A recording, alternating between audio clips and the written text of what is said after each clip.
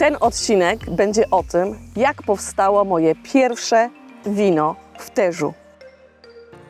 Wino postanowiłam nazwać Space Odyssey, dlatego że jest to gra słów ze słowem od, tak nazywa się winiarnia. Taka zdziczała, piękna farma w Terzu. I will need a lot of help from you. Trochę głupio wyglądam w tym kapeluszu. We have the river just nearby, giving a lot of freshness and coolness. Today it's very hot, so we started. 43 degrees. Aż mi się łezka wokół zakręciła, tak pięknie to wszystko tutaj wygląda.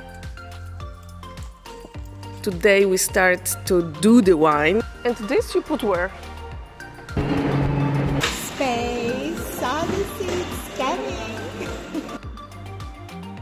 We have these lints of golden because of the maceration. Oh, this is my dog, Hello. okay. And another dog, okay.